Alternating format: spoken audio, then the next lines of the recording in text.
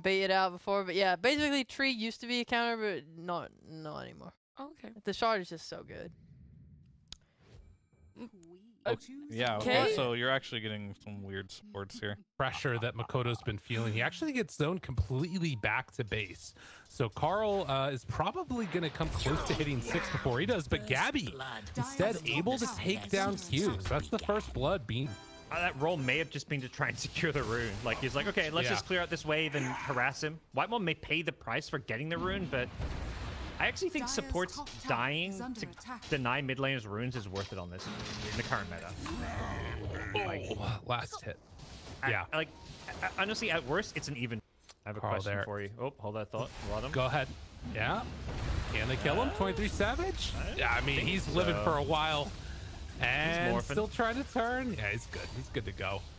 Backs away, keeps on punching these treants, getting heals in afterwards. Karl, he's Maybe? going for the solo kill. He's trying to dodge the Maybe sonic. Oh, but Karl gets him. Dies Makoto ends up getting him down low, and 23 Plasma Savage, they come back in even more. Hyde turns, wants to fight, not enough. Whitemon making the move over. He has another plasma field in two, and 23 Savage will manage to TP out of there, just barely. And yeah, Nature's Prophet rush, rushing the vessel against Morphling. They're basically all just playing and itemizing to not give Morphling a game. Yeah. You. Ah, Ah, that's not how that can you works. get out? He's burning, trying to he's get out of there. Barely brings him down. More now the roll up though. Kuku trying to dodge. Makoto goes back and forth, and Hyde is there to help clean up. It's a bloodbath. This is a complete opposite the last game.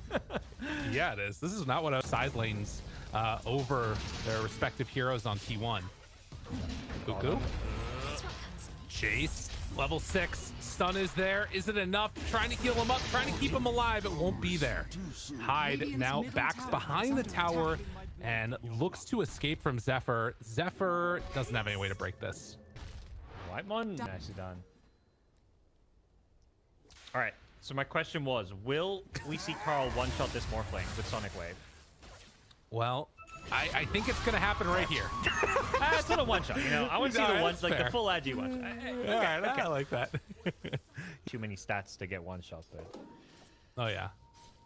Uh, there's a chance. I mean, particularly because they're going to have the vision advantage most of the time. Oh, Karl was not prepped for that. He had blink up and everything, and now jumps on in for the ulti. Not quite going to be able to bring down Whitemon. Dodge with the living armor. Keeping him alive, has another plasma. And the jump in with the shield crash to finish the job. So he didn't even go home. He went to bottom. The hell? he's like, all right, I'm gonna go come down here and throw some Nature's Grasp from the trees. Maybe even find Q if they're not careful. Five pause razor pushing the off lane. Let's go. White And one's dude, Xepher's loving looking. life. They were not anticipating this. The overgrowth the afterwards, they overgrowth. get the kill on a Q. What? What kind of play is that? It makes no sense. No wonder Talon didn't expect it. This one health treant TP's bottom and oh, soda. Um, and this time around, they're coming out, guns blazing. Like, yeah, their draft is a bit wonky and they don't have stuns. And, you know, there's a lot of question marks about how it's going to pan out, but they're, they're playing a different brand of Dota. Oh, and the bushwhack comes on through. Just Enough for the finish. Nicely played there. He tried to do a little bit of a line. I mean, I, I'm not sure. What do you think the timings are going to look like for both of these teams when they actually try and uh, go all in? Although, I have to hold that thought. Oh, Gabbi. He's down low. Dire's top tower you know- Get is out. under attack. I've never seen a draft like T1, so I it, it's hard to say. Trying to read what's going on here. Oh, yeah. Kuku's getting Ends up picked going off. down. Mikoto, though, he's taking a ton of damage from Whitemon. Dude, this support Razor is doing a ton. And now Gabbi trying to chase Q. Does he have another overgrowth? Finds him a second time with the tumbler's toy. And a second round. Karl with the double kill. They pop the uh, Just Brewmaster stay alive. split. And I just need to get out. going early mid-game items like Orchid QoP, Razor with the drums, Nature's Prophet with the fast vessel, Diffusal Slark. I think we're going to see Gabbi look to fight early rather than farm. Maybe an Aghanim Scepter second for the double leap. Um, they're just all in on Constant Brawl. And Karl, Karl loses his mana. Yeah, that's not good. That's a rough one. I mean, this has been historically the problem with Plop, right? You get caught a couple of times in the mid game, and suddenly your game feels almost over. So it needs to get into that first item very quickly here and make some stuff happen. Right, one gets caught doing some warding maybe. Also blocking off these uh, cants. 23 Savage has the well damage drain and now is going to eventually get killed off. So 23 Savage, good shot for Kuku, so he can maybe make a move uh, onto 23 Savage if he shows himself anywhere. Yeah, and Savage, like, he desperately needs Manta. He's probably going to need a BKB eventually, but that Manta's pretty far away. Bottom lane, they Mikoto. found Mikoto. I don't know exactly what happened there for him, but the they find him afterwards. Orchid right on No top. mana. Gabbi jumps in, able problem. to connect for the finish. Great find in the trees there. Um, Yeah. Especially when you're going in a little blind. But this time around, Treant can initiate. He's right there on top of him. Gets the split off in time. Now the lift up onto Karl, trying to bring in more. Xepher in some trouble. The big ol' ulti dropping down from Dawnbreaker afterwards. They get the blink out by Karl. Round two now. Orchid on onto Kuku, but another lift up. Nice Oh, lift. KP is doing so much right now. Kuku turns, KP trying to get out of there, low on mana, and with Gabbi showing up, this should be enough to bring down the brew, but he gets it off again. Round two with the Aghanims, and now Mikoto comes in, has the roll, they take down two. Back to back, Gabbi got lifted again.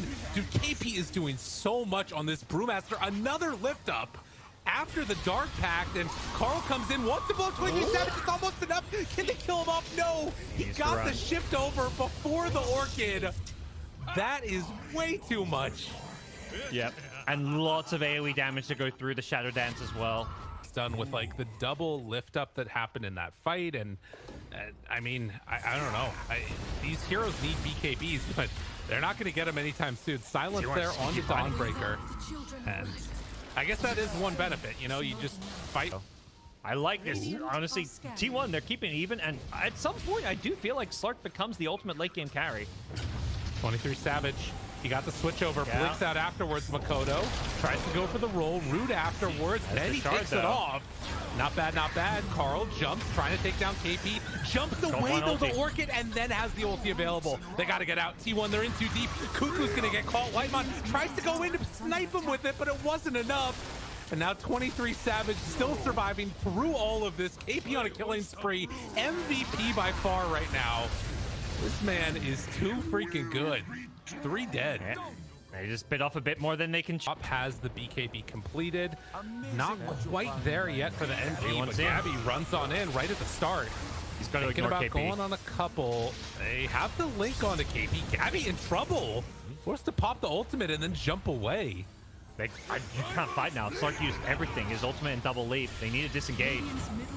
Yeah, that is not something that they do well. As you've mentioned before, Karl, first instance of the BKB going to be popped. Can't get anything for it. Height of these trees just in the pit with them. Moves on forward. Gabbi tries to take it out. Will manage to get the jump Okay, away afterwards. That's big. Getting the ward and getting out. It's just keeping them out of the Roshan pit. Another split. Xepher. Downtown, they find him, they kill him. 35 seconds with no tree. Lift up now onto Razor. And still, Rosh has not taken that much damage, so there's still delaying this. The big problem is they need this quad BKB though to really team fight. At least that's what it feels like to me.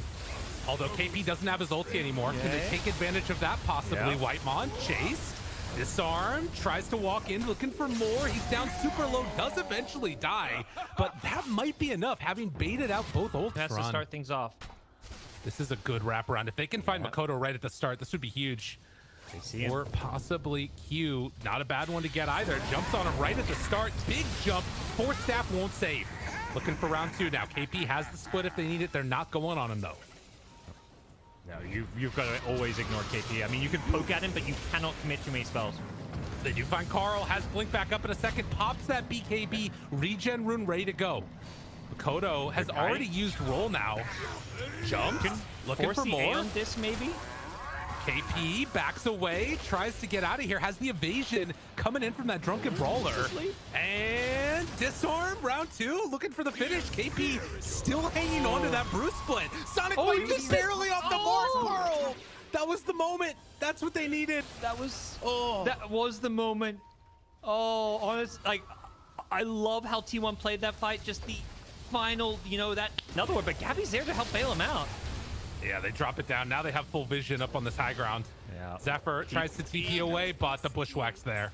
So they will take down the tree. Just constant brawls going back and forth in this game. They have another split from KP. Finally, Sky- Help your give your team some attack speed. Help them carry with the shard. oh, I assume it you works on your teammates. I've, I've never seen that, so that's an interesting point. Yeah,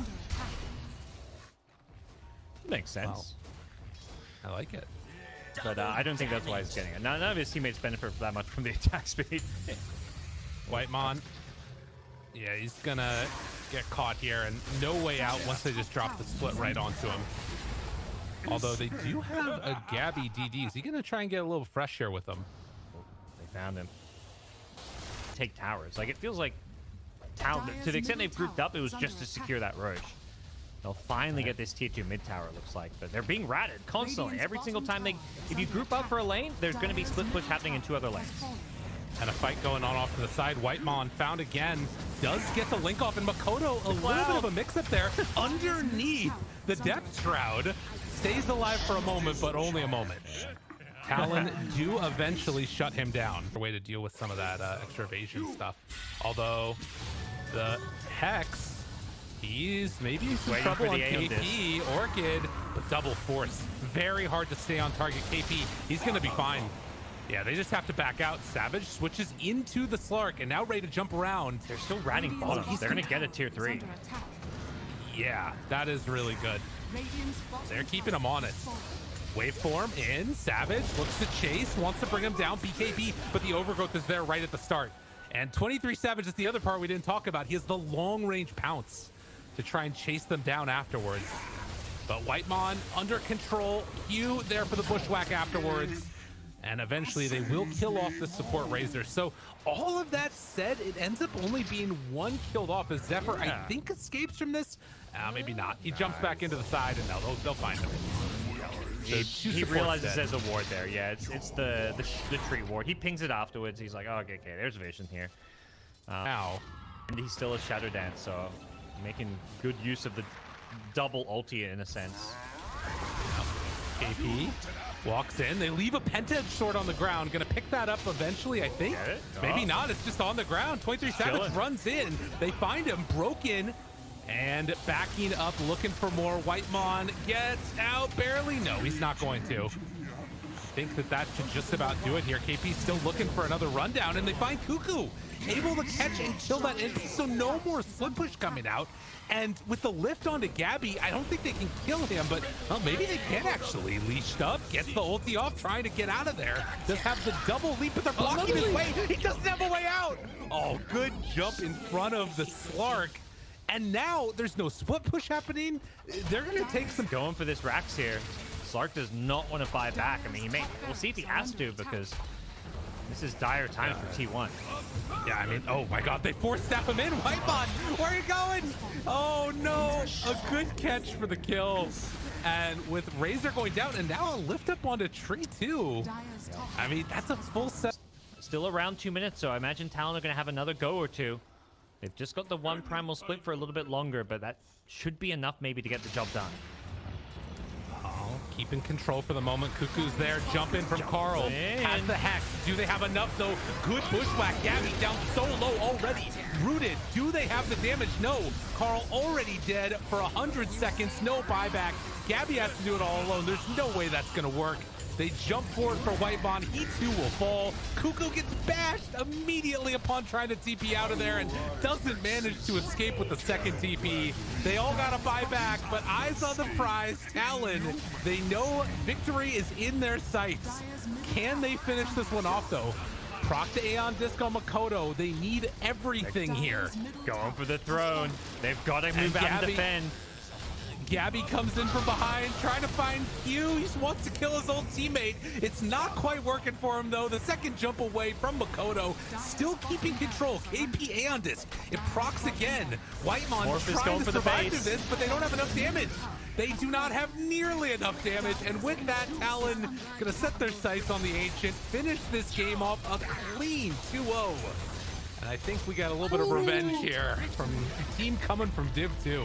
T1 giving KP some tips. You know, they're they gotta feel not too salty about this one. You know, they, I, I think as much as there's a lot of drama between you know some of the players and some of the kicks around, there's still a lot of you know good spirits going on, and you know the, these teams, a lot of these players, good friends. But for Talon, this has got to feel so good. We saw